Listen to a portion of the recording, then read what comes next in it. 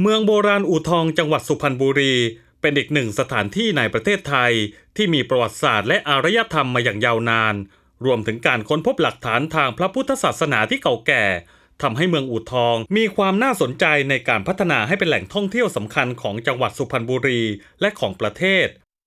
นายสมศักดิ์ภูรีศรีศักดิ์อดีตรัฐมนตรีว่าการกระทรวงการท่องเที่ยวและกีฬา ซึ่งเป็นผู้แทนอำนวยการสำนักศิลปากรที่ 2 จังหวัดสุพรรณบุรีกล่าวว่า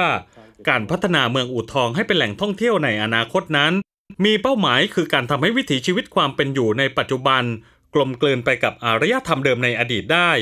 อีกทั้งยังต้องการให้สถานที่นั้น มีเรื่องเล่าสร้างความผูกพันเชื่อมโยงกับคนอู่ทองให้ได้ ซึ่งจะเป็นการสร้างความมั่นคงให้กับคนในพื้นที่ ซึ่งต้องการความร่วมมือจากหลายภาคส่วน ทั้งรัฐเอกชนและประชาชนเมื่อสร้างแล้วก็ต้องพยายามรักษาให้คงอยู่ไว้ และต้องพัฒนาให้ดีกว่าเดิมอีกด้วย เป็นสิ่งที่สำคัญวันนี้ได้นำเสนอว่ารูปแบบในเรื่องของการสร้างแหล่งท่องเที่ยว ไม่ว่าจะเป็นเมืองโบราณอย่างเช่นของประเทศจีนที่ขึ้นมรดกโลกนั้น ก็สร้างมาจากความเชื่อความนับถือของคนชาวจีนที่นับถือลัทธิต่างๆ พร้อมทั้งพุทธศาสนา ไม่ว่าจะเป็นเล่าจื้อของจื้ออะไรเนี่ยเขาก็สร้างเรื่องราวขึ้นมา ของเราก็สามารถทำได้ แต่ว่าก็จะให้มาดูแนวทางว่า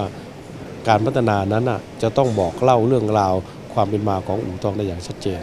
คนจึงจะเข้าใจครับ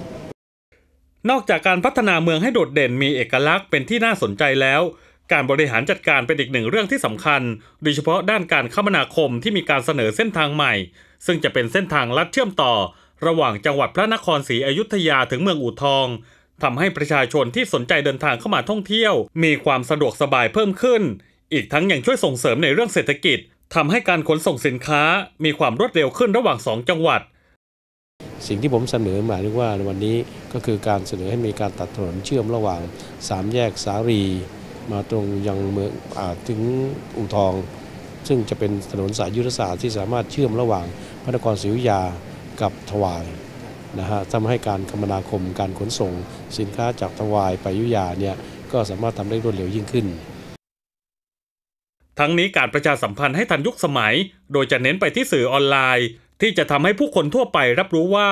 เมืองอู่ทองมีการพัฒนาไปในเรื่องใดบ้าง ทั้งนี้นอกจากจะมีการบูรณะอารยสถานเดิม ที่เกิดความเสียหายโดยกรมศิลปากร และได้เริ่มก่อสร้างสิ่งปลูกสร้างใหม่ ในพื้นที่ภูเขาที่เคยถูกเปิดให้เป็นพื้นที่สัมปทานโมหินในอดีต โดยมีการแกะสลักพระพุทธรูปขนาดใหญ่โดยหวังสร้างให้เป็นพุทธสถานเมืองโบราณอู่ทอง และเป็นพุทธสถานสำคัญทางพระพุทธศาสนาอีกด้วย